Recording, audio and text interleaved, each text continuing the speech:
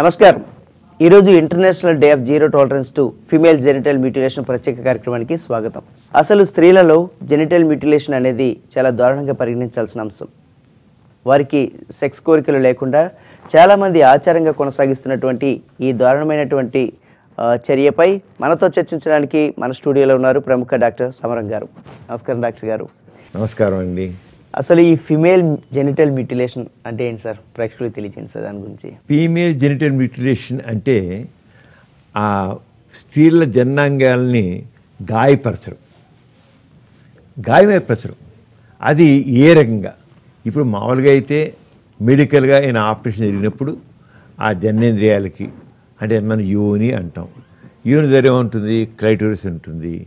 తర్వాత మే- తర్వాత లేవే మేజరా లేవే యోని పెదవులు ఉంటాయి. అలా యోని రంధ్రం ఉంటుంది మూత్ర నాళం ఉంటుంది. ఇవన్నీ కలిసి యోని అంటాం. అంచేత దాని ఈ యోన్ని మామూలుగా మర్మావయాలు అంటారు మర్మావయం అంటారు. లేకపోతేనేమో స్త్రీ జన్నే జ- జన్నాంగం అంటారు జననాంగం. అంటే అక్కడి నుంచి మరి పిల్లలు పొడ్డం అనేవి ఉంటాయన్నమాట. అంచేత ఈ ఇది మిటిలేషన్ అంటే గాయపరచడం. ఆ గాయపరచడం అనేది విషయంలో ఇది ఎందుకు? మామూలుగా మెడికల్గా వైద్య సంబంధంగా ఉండి ఆపరేషన్ అవసరం ఏంటి ఆపరేషన్ చేసి గాయపరచడం అంటే గాయం ఏర్పడితే ఓకే. అలా ఇక్కడ అలా కాదు. ఒక ఆచారంగా ఒక సాంప్రదాయంగా అది జరుగుతుందన్నమాట. అందుకనే ఐక్యరాజ్య సమితి ఫిబ్రవరి ఆరు రెండు వేల మూడు నుంచి ఒక డేని ఏర్పాటు చేసింది. మనకి ఎలా అయితే world days day world physical handicap day అని ఎలా పెట్టారో ఆ రంగానే ఒక ప్రత్యేకంగా ఒక అవేర్నెస్ తీసుకురావడం కోసం ఈ ఆచారాన్ని సాంప్రదాయాన్ని చేయడం కోసమని దీని ఏమన్నారంటే international day of zero tolerance to female genital mutilation మిల్టి అంటే ఫీమేల్ జెనిటల్ మిటిలేషన్ అంటే ఆ గాయపత్రం అన్నమాట. అదే మన తెలుగులో చెప్పుకోవాలంటే స్త్రీ జనాంగానికి వైకల్యం కలిగించే లేదా గాయపరిచే సాంప్రదాయ పద్ధతికి వ్యతిరేకంగా ఐక్యరాజ్య సమితి అంతర్జాతీయ దినం. ఇంటర్నేషనల్ డే ఈ ఇంటర్నేషనల్ డేకి ముఖ్యంగా ఎందుకు? అసలు ఎందుకు ఇలా చేస్తుంటే ఒక ఆచారంగా ఎంతో కాలం చూస్తూనే ఉంది. ఇప్పుడు ఎలా అయితే మహమ్మడన్స్లో వాళ్ళ ఆచారంగా మగవాళ్ళకి సుంతి చేస్తారు. చర్మం కట్ చేస్తారు. పూర్వ అంటే ప్రెప్పీస్ అంటాం. పురుషాంగం పూర్వ చర్మం. అది ముందుకు వెనక వెళ్తే ఏం లేదు చర్మమే అది. చర్మం కట్ చేస్తారు ఏమి నష్టం లేదు. అది ఏమవుతుంది? దానివల్ల స్త్రీ మగవానికి పుంసత్వానికి ఎరంగా ఇబ్బంది కలదు పు- పురుషాంగానికి ఎరంగా ఇబ్బంది కలగదు ఏది కలగదు. అది కూడా సరిగ్గా ఇన్ఫెక్షన్ వేరే విషయం కండి. అది చర్మం ఒక్కనే కట్ చేస్తారు. సుంతి అంటే చర్మం ఒక్కనే ఇక్కడ స్త్రీలలో సుంతి అనుకోవాలి. కానీ స్త్రీలలో చేసే ఈ సుంతి చాలా భయంకరమైనది. నిజంగా దీని గురించి తెలిస్తే మనం నిజంగా చా ఆశ్చర్యపోతాం. కానీ ఎన్ని సంవత్సరాలు చూస్తుంది ఈ ఆచారం? ఈ ఆచారం వల్ల రకరకాల స్త్రీలు ఇది ఉంది. అంటే దీని గురించి మన అంతర్జాతీయ అంతర్జాతీయ సంస్థ స్పందించి అటు ఐక్యరాజ్య సంస్థ కానివ్వండి డబ్ల్యూహెచ్ఓ కానివ్వండి అవన్నీ గురించి ఒక ప్రత్యేకంగా ఫిబ్రవరి ఆరుని the international day of zero tolerance to female genital mutilation ఇచ్చారన్నమాట. అంటే జీరో టాలరెన్స్ అటు ఎట్టి పరిస్థితులు కూడా మేము ఒప్పుకోంది ఎట్టి పరిస్థితుల్లో కూడా మేము ఈ పద్ధతిని ఒప్పుకోం. జీరోకి వచ్చేయాలి. జీరోకి వచ్చేది జీరో టాలరెన్స్ ఒప్పుకునే పని లేదు అది చేయడానికి వీలు లేదు. అది చేయడానికి వీలు లేదని చెప్పేసి రెండు వేల ముప్పై నాటికి అంటే ఇంకొక పదకొండు సంవత్సరాలకి ప్రపంచంలో అసలు ఈ పద్ధతి అంటూ ఉండడానికి వీలు లేదు. అసలు జరగడం లేదు. ఎందుకంటే చాలా కొన్ని మిలియన్స్ మిలియన్స్ పుట్టిన దగ్గర నుంచి మస్తు పెద్దవాళ్ళ వరకు యాభై వరకు ఈ పద్ధతి జరుగుతుందన్నమాట. అంచేత ఇది అందుచేత దాన్ని నివారించడం కోసం అరికట్టడం కోసం the international day female genital mutilation అనేది వచ్చింది మీరు చెప్తుంటే అసలు ఒళ్ళు గగురు పుడుస్తుంది అంశం. అసలు ఈ ఆచారం అన్నారు కదా మీరు ఈ ఆచారం అనేది ఎన్ని దేశాల్లో ఉంది సార్? అసలు ఇది ఏ వయసు వారికి చేస్తున్నారు ఎక్కువగా? ఈ ఆచారం మరి ఆఫ్రికాలో తీసుకున్నట్లయితే ఆఫ్రికాలో ఎక్కువగా ఉందండి. ఆఫ్రికాలో దాదాపు ముప్పై దేశాలు ఉంది. ఆఫ్రికాలో ముప్పై దేశాల్లో ఉంది. అలాగే అరేబియన్ కంట్రీస్లో ఉంది. అలాగే ఏషియాలో కూడా ఉంది. విచిత్రం అంటే మన ఇండియాలో కూడా దేహం పద్ధతి ఉంది. మన ఇండియాలో. మన ఇండియాలో కూడా అక్కడక్కడ అక్కడక్కడే కొద్దిగా. ఈ మధ్య సోషల్ వర్కర్స్ మరి స్వచ్ఛ సేవా సంస్థలు పనిచేస్తూ చూసి వాళ్ళు ఆశ్చర్యపోయారు. భారతదేశంలో కూడా స్త్రీ జెనిటల్ మిటిలేషన్ అనేది అంటే జన్నాంగాల్ని కట్ చేయడం అనేది ఉంది అనేది. ఎందుకంటే భారతదేశం సైంటిఫిక్గా అభివృద్ధి జరుగుతుంది. ఒక ఆచారం ఇది తీసుకున్నట్లయితే ఇది పుట్టిన క్షణంలో నుంచి పద్నాలుగు సంవత్సరాల దాకా చేస్తారు బండి అలాగే యాభై సంవత్సరాల దాకా కూడా చేస్తారు. ఈ విధంగా ఈ ఆచారం జరుగుతుందన్నమాట.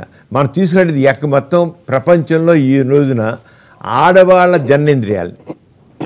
జన్నేంద్రియాలంటే అక్కడ క్లైటోరిస్ అని ఉంటుంది మన వాళ్ళు యోని శీర్షం అంటారు. దాన్ని కట్ చేయడం.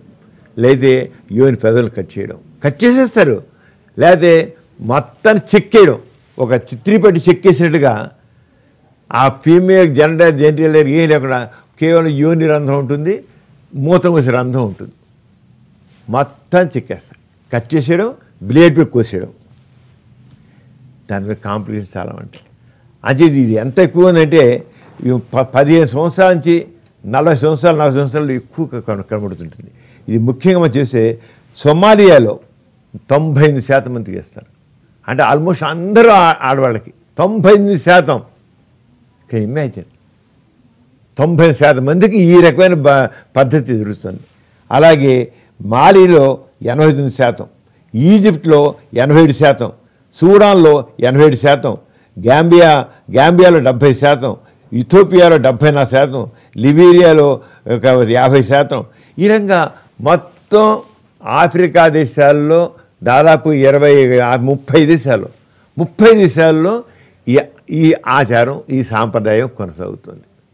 చిన్నపిల్లల్లో కూడా ఈ ఆచారం ఉంది. చిన్న పిల్లలు. ఆ చిన్న వయసులో ఉన్న కూడా ఈ సాంప్రదాయం ఉంది. చిన్నపిల్లల్లో చూసినట్టయితే గాంబియాలో అంటే చిన్న పుట్టిన దగ్గర నుంచి పద్నాలుగు సంవత్సరాలు తీసినట్టయితే గాంబియాలో యాభై శాతం. తర్వాత ఇండోనేషియా నలభై తొమ్మిది శాతం.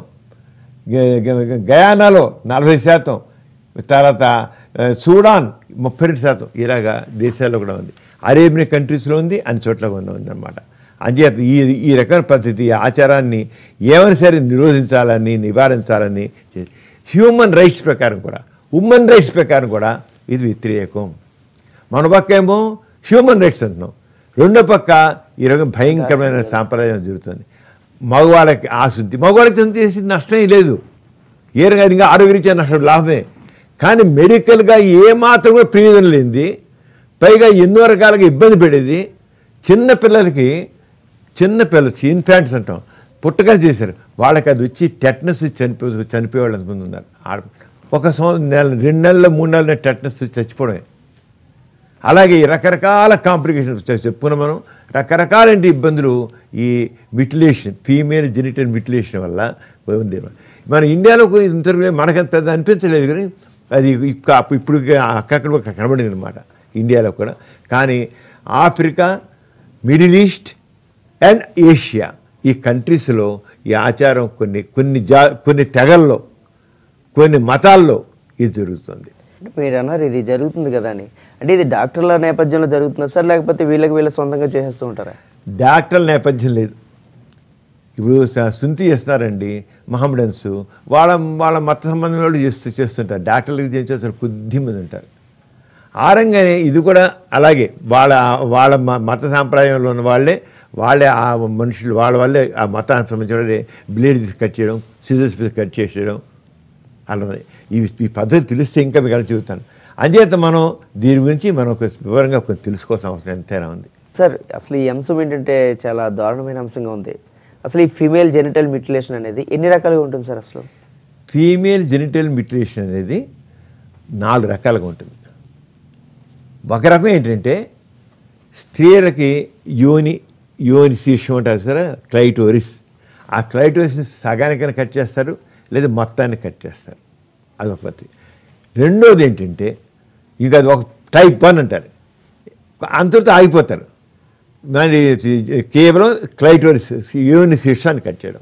రెండో టైప్ రకం ఏంటంటే ఆ రెండో రకంలో టైప్ టూ అనే దాంట్లో క్లైటోరిస్ని కట్ చేయడమే కాకుండా దాన్ని మొత్తాన్ని తీసేస్తారు.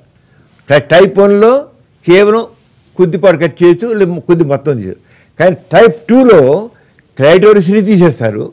యోని లేబియా మేజరా లేబియం మైనరా అంటే కట్ చేసి మన మన పెదాలు అంటే యోని పెదవులు అంటాం. యోని దగ్గర పెదవుల్లాగా చర్మం ముడతలు ఉంటాయి. దాన్ని కట్ చేస్తారు టైప్ టూ ఇంకా టైప్ త్రీ అది మరీ ఘోరం. ఇక ఆడపిల్లకి తనకి మన స్టాప్లర్స్ ఉంటుంది సరే? స్టాప్లర్. ఆ స్టాప్లర్ తీసుకుని ఆ యోని పెదవులు మొత్తం స్టాప్లర్ వేసేస్తారు చిన్న చిన్న స్పేస్ కుద్దు నుంచి స్టాప్లర్ వేస్తారు లేదా సూ తీసి కుట్టేస్తారు. అంటే యోనిపై యోని ఓపెన్గా ఉంటే ఆ ఓపెన్గా లేకుండా కుద్ది కుద్ది కన్నాలు ఎందుకని? కేవలం ఒంటేలు పోసుకోవడానికి మెన్సెస్ బ్లడ్ బయట రావడానికే ఉంటుంది. దాన్ని ఏమంటారంటే ఇన్ఫిబులేషన్ అంటారన్నమాట. ఇన్ఫిబులేషన్ అంటే దాన్ని కంప్లీట్గా క్లోజ్ చేసి కొద్దిగా యూరిన్ రావడం కోసమే. ఇక నాలుగో తర్వాత టైప్ ఉంది. Four type four. ఈ టైప్ ఫోర్ ఏంటంటే ఇక దాన్ని సూది పెట్టి పొడడం అంతా. చుట్టూతో పొడి చేసి దాన్ని అలా పొడి చేసి బి- బిగుసుకుపోతుంది. లేదా కొయ్యడం ఘాట్లు పెట్టడం. ఘాట్లు పెట్టడం. అలాగే అక్కడక్కడ కట్ చేయడం. టైట్ కొద్దిగా. లెక్కంటూ ఏమీ లేదు. ఎలా ఎలా పడితే అలా ఇక్కడ. లేదా మొత్తాన్ని కట్ చేసి పెరగడం టోటల్గా. Type four. ఇక ఏంటి ఉండేది? కేవలం మెన్సెస్ బ్లడ్ బయటకు వచ్చే రంధ్రం మూత్రం బయటకు వచ్చే రంధ్రం ఉంటుంది. మెన్స్ అది విజయన అంటే మరి ఎక్కడైతే శృంగారం జరుగుతుందో ఎక్కడ సంయోగం జరగాలో దాన్ని కూడా క్లోజ్ చేసేస్తారు. కుట్టేస్తారు దారం పెట్టి కుట్టేస్తారు. కుట్టేస్తారు పె- ఇక పెళ్ళి అయ్యాక అప్పుడు కట్ తీసి కట్ చేస్తారు.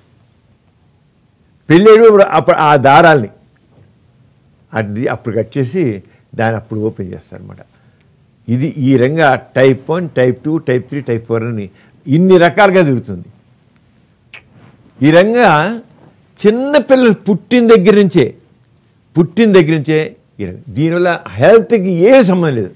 దీని వెనకాల బ్యాక్గ్రౌండ్ వేరుగా ఉంది అది మనం చెప్పుకుందాం రైట్ సార్ మీరు అన్నారు ఫీమేల్ జెనిటల్ మ్యూటిలేషన్ ఒక ఆచారంగా నడుస్తుందని అని చెప్పారు. అసలు ఈ ఆచారం యొక్క ముఖ్య ఉద్దేశం ఏంటి సార్ అసలు? మామూలుగా మనకు ఒక కన్యత్వం అటు ఉంది కదా. కన్యత్వం అంటే పెళ్ళి కాకముందు అసలు ఎవరితోనూ సంబంధం సెక్స్ సంబంధం ఉండకూడదు లైంగిక సంబంధం ఉండకూడదు. అంటే కన్య పుట్టిన ఆడపిల్ల పెళ్ళేరు కన్య కన్యగానే ఉండాలి. కానీ ఉండదేమో అని డౌటు. ఈ మగవాడికి ఉండేటి పురుషాధిక సమాజంలో ఆడదానికి ఆ ఆ- కన్యత్వం మీద డౌట్. అంటే దాన్ని కంజిగా నువ్వు ఎలా ఉంచాలని చెప్పేసి ఏం చేస్తాడు ఆచార సాంప్రదాయం అంటే దాన్ని కట్ చే- ఎలా అయినా సరే ముందు అమ్మాయికి సైక సెక్షువల్గా ఫీలింగ్స్ ఉండకూడదు. సెక్షువల్ ఫీలింగ్స్ ఉండకూడదు అంటే క్లైడోస్ కట్ చేయి. క్లైడోస్ యోని శిక్షం అక్కడ కామనాలు ఎక్కువ ఉంటాయి. చేత అది cut type one type. Type one లాగా అది అరే అలా కాదు. మరి ఆ కాంపరమైనటువంటి కోరికలు వస్తాయి కనుక ఉబ్బ ఉబ్బుతుంది కనుక ఉబ్బడం వల్ల కూడా తనకి కలుగు కనుక లైబ్రరీ మీద కట్ అంటే స్త్రీలో లైంగికపరమైన స్పందనలు ఉండడానికి వీలు లేదు. ఇంకా పెళ్ళే పెళ్ళయ్యాక పెళ్ళాక వివాహిత లైంగిక సంబంధం పెట్టుకుంటుందేమో విశ్వాసం ముగ్గురితో విశ్వాసం ఉండదేమో. విశ్వాసం ఉండదు కనుక అసలు ఈ అమ్మాయికి సెక్స్ కోరికలు తీసేద్దాం అసలు. సెక్స్ పందులు లేకుండా తీసేద్దాం. కైటో తీసేయి యూనిఫైల్ తీసేయి. మొత్తం యోని దగ్గర అసలు ఏమన్నా ఒక సెక్ పైన యోన్ అంతా సెక్స్ అక్కడ అక్కడే అనిపిస్తుంది కనుక కట్ చేసి పెడ అందుకే చెక్కి పడేస్తారు సిజర్స్ పెట్టి అక్కడ కట్ చేయడం కట్ చేయడం. ఇంత చేసినా మళ్ళీ ఎక్కడ చదువుతుందని చెప్పి ఆ మామూలుగా పెళ్ళి కా పెళ్ళి కాకముందు కుట్టు వేసాడు ఒక బొంత కుట్టినట్లు కుట్టాడే. ఎంత ఎంత భయంకరమైనది ఏంటండి? ఆఫ్రికాలో ముప్పై దేశాలు ఉంది. ఈ మిటిలేషన్ ఫీమేల్ జెనిటల్ మిటిలేషన్ అనేది. ఈ భయంకరమైన పరిస్థితి వల్ల అంటే మెయిన్గా స్త్రీలో లైంగికపరమైన ఆలోచన ఉండగలేవు ఎందుకు ప్రీ ఆడదంటే కేవలం పిల్లల కన్నం వరకే.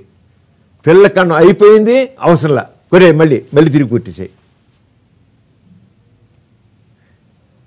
కుట్టే పిల్ల ఆవిడ కేవలం ఒక పిల్లల కడే అంతం మాత్రమే. తప్ప స్త్రీ అంటే ఒక మనిషి కాదు. ఒక మనిషి కాదు ఒక మనసు ఉంటుంది దానికి ఒక ప్రేమ ఉంటుంది ఒక రొమాన్స్ ఉంటుంది సెక్షువల్ ప్రెషర్ ఉంటుంది. నో విచిత్రం ఏంటంటే ఈ ఆచారాన్ని సాంప్రదాయాన్ని మా ఆచారం అంతే అని సంబంధించే మనుషులు కూడా ఉన్నారు. అందుకే సాగుతుంది. అంటే ప్రపంచంలో ఇప్పుడు two hundred million people two hundred million ladies అంటే దాదాపు రెండు కోట్లు. రెండు కోట్ల లేడీస్ ఈ ఈ రకం ఆచారం గురై ఉన్నారు. ఇప్పుడు ప్రస్తుతం దాంట్లో నల నలభై మిలియన్స్ టూ హండ్రెడ్ మిలియన్ నలభై మిలియన్ జీ పుట్టిన దగ్గర నుంచి పద్నాలుగు సంవత్సరాలు వెళ్ళాయి. అంత చిన్న పిల్లలు. నలభై మిలియన్స్. మొత్తానికి మాత్రం ఇది జరిగేది ఈ జరుగుతుందన్నమాట. ఈ రకంగా అంటే దీంట్లో ఏంటి చివరికి ఇప్పుడు డాక్టర్ మీరు అడిగారు డాక్టర్ దగ్గర వస్తాను డాక్టర్ రోల్ ఎక్కడంటే మరి పె- ఈ కుట్లు కదా అంటుపోతాయి అప్పుడు దానికి డాక్టర్ వదిలి- దాన్ని వదులు చేస్తాడు దాన్ని. అప్పుడు డాక్టర్కి వస్తున్నారు వీళ్ళు. ఎందుకంటే స్కార్ టిష్యూ ఫార్మ్ అయిపోతుంది అంటుపోతుంది రెండు వచ్చా మన చర్మం దిగిపోయిన అనుకోండి రెండు సైడ్ దగ్గర లాగి కుట్లేస్తాం. ఇది గాయం అయితే లాగి కుట్లేస్తాం కదా. అలాగే ఇది ఇన్ఫిడిలేషన్ అనమాట ఇప్పుడు దాన్ని కట్ చేసి మళ్ళీ కూడా వదిలి చేస్తాడు అది ఈ నాలుగు రకాలుగా ఫీమేల్ జెనిటల్ మిటిలేషన్ అనేది జరుగుతుంది. మరి దీనివల్ల స్త్రీకి కలిగే నష్టం ఏమైనా ఉందా సార్? తప్పకుండా అండి ఎందుకు ఉండదండి? ఇవన్నీ చేత రెండు ఇమ్మీడియట్గా జరిగేది ఏంటంటే కట్ చేశారు కదా? కట్ చేసే బ్లీడింగ్. రక్తం ఎక్కువ పోతుంది రక్తం పోతుంది. తర్వాత బ్లీడింగ్ పోయిన దగ్గర ఏంటండి ఇక నిప్పి. మొట్ట వెంటనే కట్ చేయక జరిగేది. నిప్పి. తర్వాత ఏముంటుంది? ఇన్ఫెక్షన్. ఏదైనా గాయం అయితే ఇన్ఫెక్షన్ క్రిములు చేరిపోతాయి బ్యాక్లో ఇన్ఫెక్షన్ వస్తుంది. ఇన్ఫెక్షన్ వచ్చిన తర్వాత తర్వాత ఏమవుతుంది ఇక? జ్వరం వస్తుంది. జ్వరం వల్ల నుంచి కొంతమందికి ఏమవుతుంది? సెప్టిసిమియా. ఈ క్రిములు రక్తంలో గడిపోతాయి బాడీ అంతా ఇన్ఫెక్ట్ అయిపోతుంది. చివరికి డెత్. లేదా టెటనస్ ధనుర్వాతం ఇదేం ఆపరేషన్ లాగా స్టెరాయిడ్గా ఉండవు కదా? ఈ విధంగా ఎంతమందో పిల్లలు చచ్చిపోతున్నారు. చచ్చిపోతున్నారు. ధనుర్వాతం వల్ల ఇన్ఫెక్షన్ వల్ల సెప్టిసిమియా వల్ల అందుకని డబ్ల్యూహెచ్ఓ ఎంతో ఇదిగా దీన్ని స్పందించి ఏమైనా సరే ఈ ఆచారం ఉండడానికి వీల్లేదు. ఇది ఆచారం కావచ్చు మీ మతాచారం కావచ్చు. అది ఇన్హ్యూమన్ ఇన్హ్యూమన్ పద్ధతి ఇది. హ్యూమన్ రైట్స్ ప్రకారం తప్పు ఇది. ఉమెన్ రైట్స్ ప్రకారంగా తప్పు ఇది.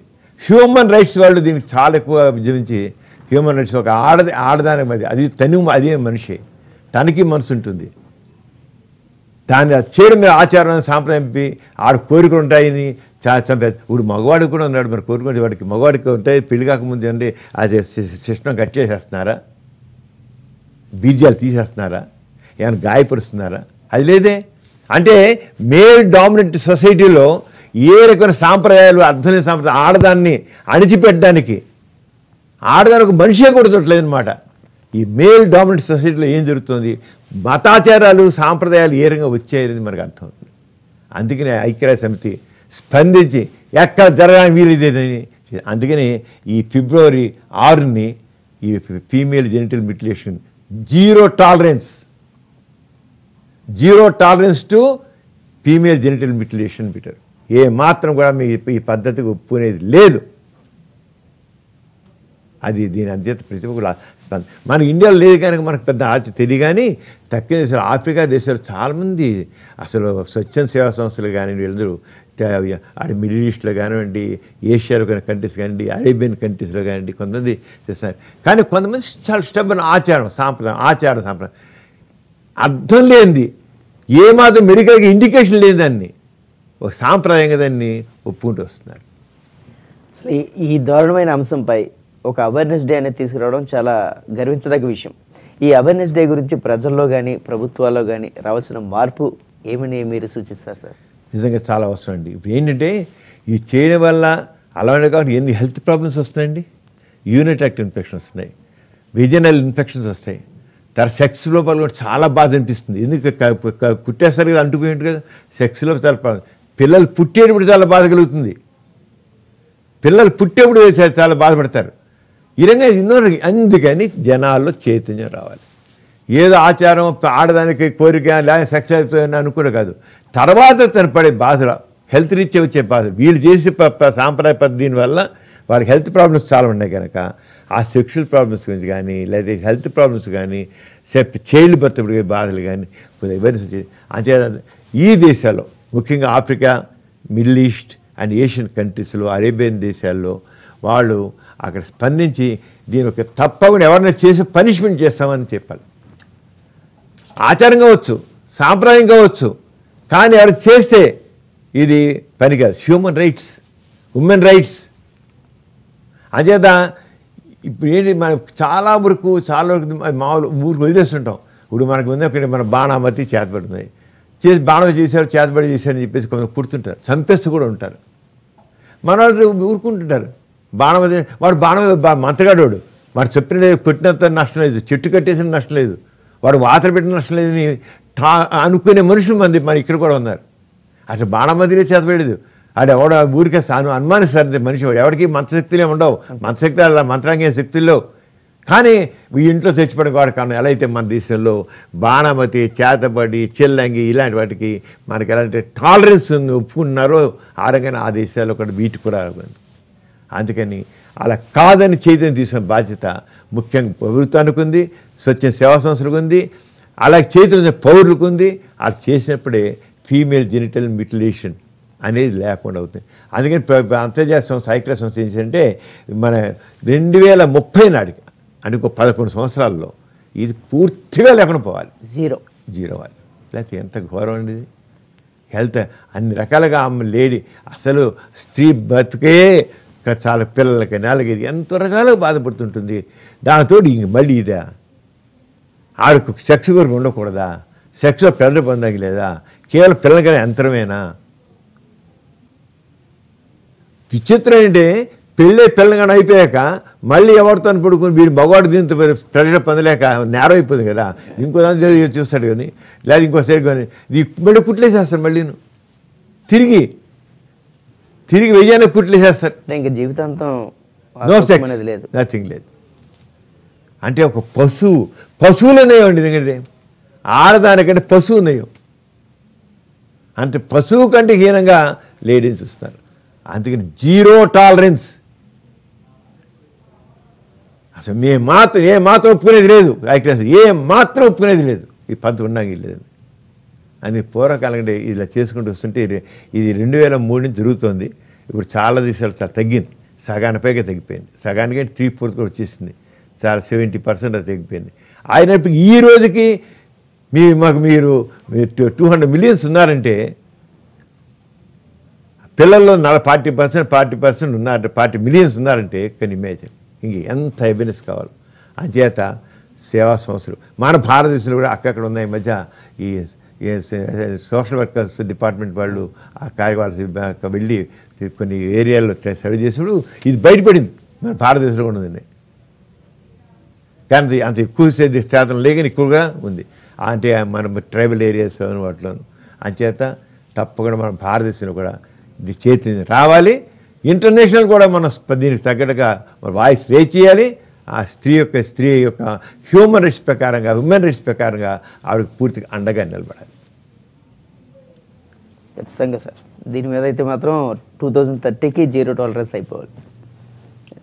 డాక్టర్ గారు ఫిమేల్ జెనిటల్ మ్యూటిలేషన్ గురించి అలాగే international day of zero tolerance female genital mutilation గురించి చాలా అంశాలు చక్కగా చెప్పారు. చాలా థ్యాంక్ యూ సార్ చూశారు కదండి ఇది international day of zero tolerance to female genital mutilation గురించి ప్రత్యేక కార్యక్రమం. మరో ఎపిసోడ్లో మళ్ళీ కలుద్దాం. నమస్కారం.